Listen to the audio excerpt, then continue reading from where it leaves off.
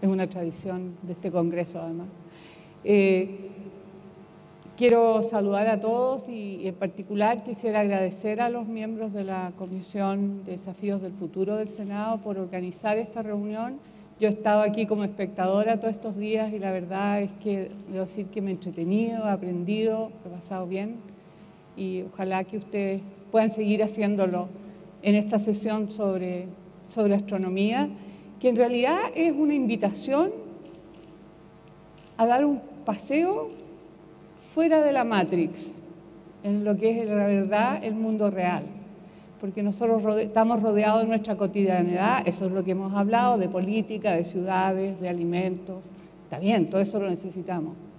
Pero muchos olvidamos que de verdad somos parte de un universo mucho más vasto, muy raro, muy distinto a lo que estamos acostumbrados y que como, planeta somos frágiles y vivimos en ese universo vasto y raro y que yo creo que hace bien de vez en cuando eh, eh, mirarnos desde ese punto de vista, del punto de vista del universo.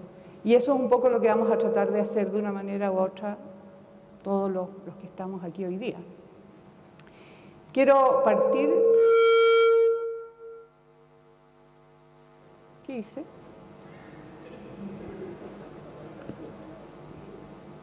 Espérate, yo creo que si esto lo pongo off, pero es que no me deja. Me voy a alejar. A ver, ahí.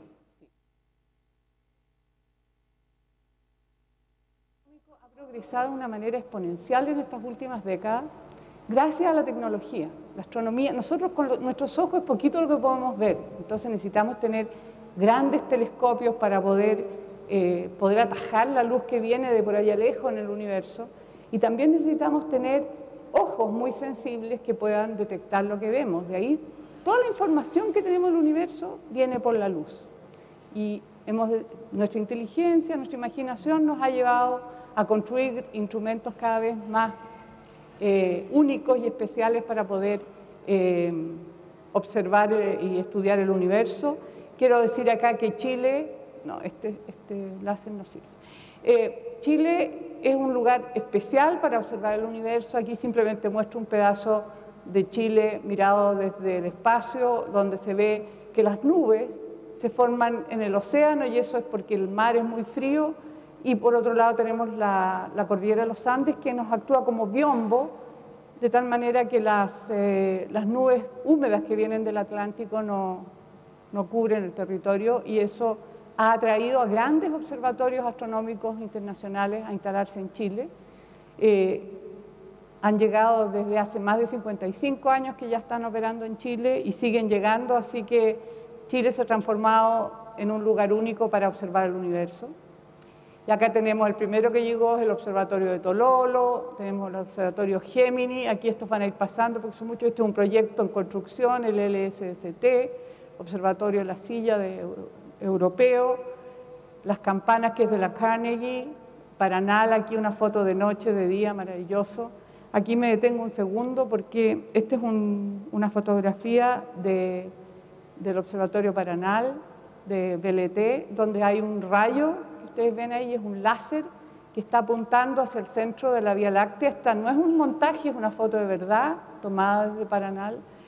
Y lo que hace ese, rayo, uno de los problemas que tenemos en astronomía cuando sacamos una foto del cielo tomado de la Tierra, es que tenemos la atmósfera entre medio. Entonces, por mucho que la atmósfera esté limpia y transparente, las capas de, de la atmósfera se mueven. Entonces, un rayo de luz que viene de allá lejos, de una estrella, se empieza a mover y cuando nos llega, la imagen que tenemos es una imagen que se ve como fuera de foco, no nítida.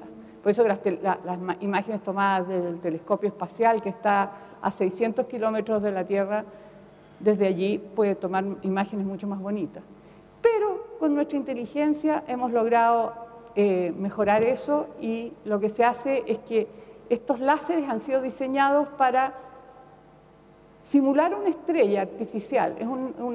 nosotros sabemos con qué forma tiene esa estrella que nosotros fabricamos, ese láser viaja 90 kilómetros más arriba de la superficie de la Tierra, ahí hay una capa de sodio en la atmósfera, y en esa capa de sodio se excitan los átomos y forman una, imagen como que fuera una estrella artificial. Cuando la imagen de esa estrella nos vuelve a llegar a nosotros, llega toda deformada por la atmósfera. Pero nosotros sabemos cómo debiera ser porque nosotros la fabricamos y corregimos esa imagen de tal manera de tener la imagen que fue la imagen original. Y eso lo hacemos 30 veces por segundo. Entonces yo lanzo ese láser al lado del, objeto que a mí me interesa observar, asumiendo que los dos rayos de luz pasan por las mismas capas de la atmósfera y sufren las mismas deformaciones. Y eso nos ha permitido realmente sacar eh, imágenes espectaculares.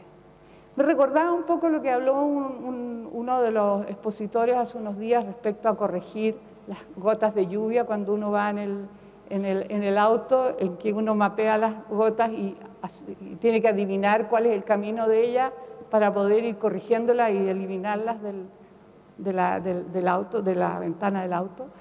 Yo creo que ese es el tipo de tecnología que en astronomía también ocupamos para, son los trucos que tenemos que usar para poder observar estos objetos que son tan débiles. Bueno, y más al, norte tenemos eh, hacia la cordillera, en, San Pedro de Atacama, tenemos el proyecto ALMA, que también me detengo aquí porque es una, una hasta 5.000 metros de altura, son 66 antenas de 12 metros de diámetro la mayoría, y que están observando el cielo, pero en luz, en ondas milimétricas. Cuando dice una ondas de radio, la gente cree que es sonido, ¿ah? pero es ondas del espectro electromagnético, pero de un tamaño de, los milímetros. Y este es un lugar único en el mundo para hacerlo. Bueno, ¿qué es lo que hemos aprendido con todo esto? Porque esa es la gracia. Toda esta tecnología nos ha permitido empezar a responder algunas de las grandes preguntas que tiene la humanidad, como cuánto tiempo, cuánta edad, qué edad tiene nuestro universo. Y llegamos a la conclusión que tiene como 13.700 millones de años. Eso es algo que es una novedad. Nosotros somos la primera generación que conocemos eso y es un privilegio realmente. Eso, estamos hoy día peleándolo si es 13.700, 13.800, 13.600. Bueno, pero antes, hace un par de décadas, no teníamos idea. Entonces, realmente es un tremendo paso hacia el conocimiento de lo, de lo que es nuestro universo. Y en este paseo, es un paseo en el espacio-tiempo, porque en el universo cuando miro las cosas más lejanas, estoy mirando el pasado porque la luz de esos objetos se demora muchísimo en llegarnos. Entonces nos estaba mostrando cómo era eso cuando la luz salió de allá. ¿no? Entonces, como, como contaba Gaspar, eh, las distancias en el universo son muy grandes. Cuando la luz del Sol nos llega a nosotros, lleva viajando ocho minutos. De tal manera que cuando el Sol desaparece bajo en el horizonte, hace ocho minutos que ya desapareció. Pero nosotros nos tardamos en darnos cuenta las noticias del universo siempre son noticias antiguas, y, algunas muy antiguas. Y varios de mis estudiantes se desesperan a veces porque me dicen, pero a lo mejor esa galaxia ya no existe. Yo digo, sí, pero solo podemos... La velocidad de la luz es la que nos trae el problema porque nada se puede mover más rápido que la velocidad de la luz. Hay cosas que están muy lejanas y se demoran mucho en llegarnos. Entonces, al principio, hoy sabemos que al principio eh, el universo era muy caliente, solo habían partículas fundamentales, un poquito después se va enfriando el universo, se forma eso que veas como azulito ahí, son helio e hidrógeno, las partes más densas empiezan a colapsar por su propio peso y allí se forman las primeras estrellas y son las estrellas en su corazón, por reacciones nucleares, las que fabrican todos los otros elementos que conocemos. El carbón, el oxígeno, el fierro, todo. Por otro lado, si miramos las galaxias, una como la nuestra, por ejemplo, y miramos al ladito, nosotros tenemos Andrómeda, nuestra vecina. Ahora, nuestra vecina está a casi 3 millones de años luz de distancia. Si uno, yo le mando un mensaje a alguien en Andrómeda, se demora 3 millones de años en llegarle. Y cuando me conteste mi amiga allá en Andrómeda, se va a demorar otros 3 millones de años en llegar. En esta fotografía, todas son galaxias, excepto Ay, no es eso, que no funciona el láser. Eh, excepto esas estrellas que tienen como una, crucecita, que eh, debido a la difracción, uh, ya, esto se trancó. Esta es nuestra galaxia, y bueno, y en esa otra transparencia lo que quería mostrar es que las galaxias, hacerle un nuevo intento, Las, galaxias viven en cúmulos de galaxias, no están solas. Hay cúmulos que tienen decenas de miles de galaxias. Nosotros vivimos en el borde del cúmulo de Virgo, que es un gran cúmulo. Eh, y, hay galaxias de todo tipo, unas más grandotas, otras más chiquitas. Eh, eso es lo que le decía en esta foto, esas como azules son estrellas, todo demás son galaxias.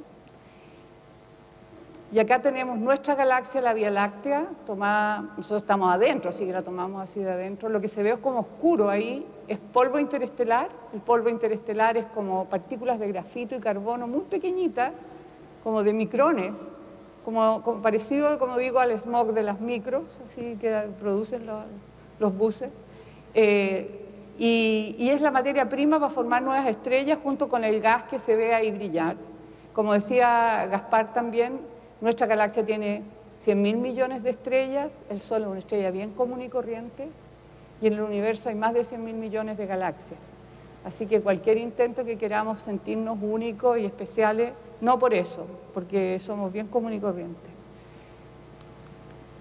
Ahora, si pudiéramos mirar nuestra galaxia de afuera, que no podemos desgraciadamente, nos pareceríamos a esta galaxia que y estaríamos, viviríamos en un brazo, vivimos en un brazo espiral, como a mitad de camino entre el centro y el borde, a 28.000 años luz del centro de nuestra galaxia. Así que ahí de nuevo vemos el tema de la distancia y el tiempo, porque si yo quiero escribirle ahora a una amiga que vive cerquita, en mi propia galaxia, ese mensaje se va a demorar 28.000 años en llegarle, y cuando me conteste otros 28.000 años, probablemente yo no esté aquí. Entonces, la comunicación en el universo empieza a ser evidentemente algo difícil.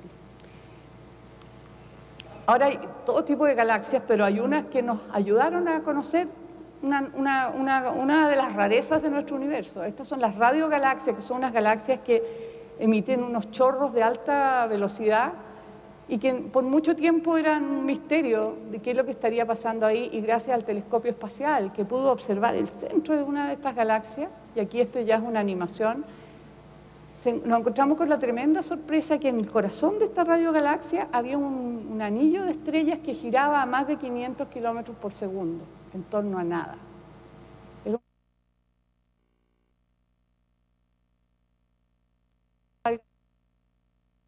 necesitaría ahí es un objeto que tuviera una masa de mil millones de veces la masa del Sol. Y ahí no caben mil millones de soles. Entonces, la conclusión es que lo que hay allí es un agujero negro, que es un objeto que tiene una, atracción de gravedad tan fuerte que nada puede escapar, ni siquiera la luz. Y, y se pudo calcular, debido a la velocidad de esta estrella, la, la, masa de ese agujero negro y estos chorros es la materia cuando van cayendo al agujero negro. Hoy sabemos que eso está en el centro de casi todas las galaxias y modestamente en nuestra propia galaxia tenemos un agujero negro de 3 millones de masas solares. Está ahí donde está este, este, esta cruz roja. Aquí pudimos medir la, órbita de las estrellas porque está más cerca. Eh, pero nuestro agujero negro está medio a dieta no tiene nada que tragarse y los agujeros negros se ven ahí cuando empiezan a tragar materia y, se eh, producen rayos X, etc. Excepto que unos astrónomos del Max Planck, observando en Paranal, descubrieron que hay una nube de gas que va directo a caer al agujero negro en, su, en, su, en el camino que lleva. Y aquí hay una simulación, miren la fecha ahí, 2012, 2013, empieza a caer, 2014. Lo entretenido es que por primera vez vamos a ver, tenemos un agujero negro y vamos a ver cómo cae el material, cómo atraviesa el horizonte. Es decir, es realmente un experimento único hasta aquí. Y debo decir que en abril del año pasado, de este año, del año pasado, estaba observando en Paranal, había un, astrónomo del Max Planck y estaba observando este objeto y vi el agujero negro brillar y empezar a, darse un festín con la materia que estaba tragando ahí. Así que eh, hay cosas extraordinarias que se han podido eh, descubrir gracias a esta instrumentación. ¿Cómo se forman las estrellas? Ese era otro gran eh, misterio por mucho tiempo. Cuando yo era estudiante me decían que los planetas, por ejemplo, nosotros éramos el único sistema planetario que había, hoy sabemos que eso no es así. Eh, esto es una nube de polvo y gas que en el centro colapsa, se calienta, forma una estrella, pero lo entretenido es que fíjense que hay un planetita que se forma alrededor. Hoy sabemos que la formación del sistema planetario alrededor de las estrellas es una consecuencia de cómo es que se forman las estrellas. No es una rareza. Y, todo lo que queda aquí son los escombros que, cuando el sistema solar nuestro era joven nos pegaron muchas veces a todos los planetas. Hoy en día el sistema solar es más viejito, tiene menos escombros y pasa eso menos frecuentemente. Los lugares, las maternidades donde nacen las estrellas son estas nebulosas preciosas, esta parte de la nebulosa de Orión, que está cerca ahí de las Tres Marías, y las estrellas se forman ahí en toda privacidad, nacen ahí dentro de esas nubes oscuras, que nosotros en luz visual como esta no lo podemos ver, pero con, con las antenas de ALMA o en el infrarrojo perfectamente podemos meternos ahí y ver cómo se forman las estrellas. Otra pregunta ancestral es si habrán otros planetas, planetas en otras estrellas y eventualmente vida. Eh, cuando yo también era estudiante decían que no, que éramos los únicos. Ahora sabemos que lo que pasa es que es súper difícil porque una estrella es muy, muy, muy brillante y el planeta no tiene luz. Entonces verlo es un desafío y en eso estamos. Hemos detectado más de mil planetas, pero verlo es, es otro paso, que en eso estamos. Pero quiero mostrarles por qué es tan difícil y me encanta esta foto. Uy, ni yo lo veo. Este, yo digo que es una selfie que nos tomamos toda la humanidad, porque por ahí estamos nosotros. Alguien que tenga buena vista a lo mejor lo ve, yo no lo veo. A él les voy a ayudar. Ahí estamos. Uy, no, pues no se ve. Eh, esta es una fotografía tomada por la sonda Cassini que está orbitando Saturno y que aprovechó que justo el disco de Saturno tapaba el Sol. Entonces tomó una foto hacia atrás y ahí está la Tierra. Y, esto estamos tomándolo dentro de nuestro propio sistema solar. Nosotros somos, y lo que nosotros quisiéramos buscar son planetas chiquititos o, por lo menos sólidos como la Tierra y que a lo mejor puedan tener vida. Eh, y también ojalá, por ejemplo, poder poner ahí nuestros, eh, nuestros telescopios, nuestros instrumentos y tomar, ver si hay, oxígeno, si hay ozono, digamos, si hay la huella de la clorofila, no sé, marcadores de vida, que eso es algo que, estamos todos tratando de buscar aquello. Y para eso se están proyectando nuevos instrumentos que están en este momento en construcción. Y aquí tenían una foto de lo como se vería el ELT, que es un telescopio de los europeos de 39 metros de diámetro, imagínense 39 metros de diámetro como esta pieza. Eh, está hecho de 900 espejos de metro y medio cada uno, hexágonos que se van poniendo juntos como un puzzle. Ahí se ve abajo unos camiones para que vean ustedes las dimensiones de aquello. Hay otro proyecto en curso también, que es el, telescopio Magallanes Gigante, que es de 24,5 metros, con eh, un diseño distinto como de flor, con 1, 2, 3, 4, 5, 7 espejos de 8 metros, que es realmente también uno de los objetivos, es buscar planetas y, por qué no signos de vida en otros planetas. Bueno, y aquí tenemos nuestra estrella más cerca. Esta es una película tomada con el, el, satélite SOHO, que observa el Sol en el ultravioleta. Aquí vea que tiene vida, tiene llamará, esto es toda parte de su, de su vida diaria, no hay por qué sorprenderse. Eh, el Sol, como decía Gaspar, bueno, el combustible que tiene el Sol es que está transformando hidrógeno en helio y ha gastado más o menos la mitad. Entonces le queda como 5 mil millones de años para terminar con el, con el combustible, pero en 900 millones de años más en la Tierra no va a haber agua. Vamos a ser como Venus, que es un infierno, porque el Sol se va a ir calentando cada vez un poquito más, es parte de su evolución. Y antes que se le acabe el combustible, el Sol va a ser demasiado caliente para que nosotros estemos viviendo aquí. Así que la búsqueda de otra casa en otra estrella más joven probablemente eh, tenemos menos de 900 años para hacerlo. Ahora, cuando muere una estrella como el Sol, la gracia que tiene es que el corazón colapsa y forma una estrella del tamaño de la Tierra muy densa, un objeto, una roca caliente que después se enfría, pero al mismo tiempo fabrica carbón, nitrógeno y oxígeno, que son importantes para el ADN de la vida. Y eso lo fabrican las estrellas más comunes, que son las estrellas que, como el Sol. Y de ese material que se mezcla con otro material que fabricó el Big Bang, van a ser una nueva generación de estrellas que ahora va a tener mucho carbón, nitrógeno y oxígeno.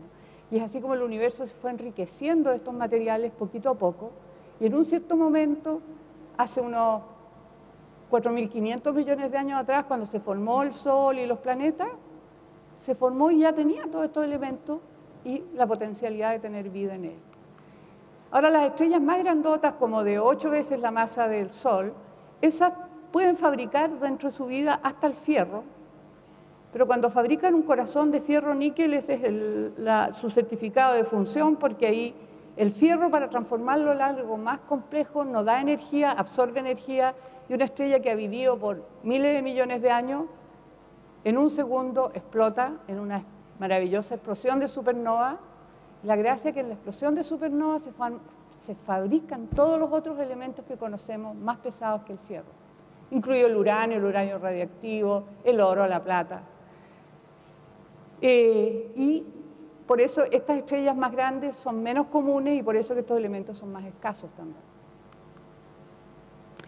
Y el universo tiene todos los elementos que conocemos, incluyendo moléculas grandotas, complejas de carbono, que son las, la base de la vida.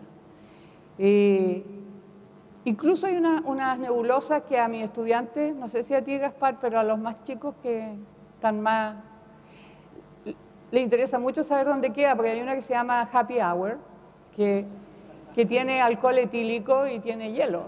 Entonces, quieren ver las coordenadas para poder...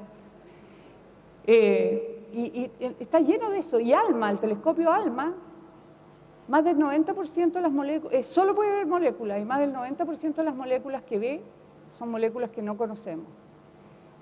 Y es en el espacio donde se han descubierto cosas bien interesantes, como el carbono 60, se descubrió en una estrella moribunda en, en las nubes de Magallanes, que es una galaxia satélite a la nuestra.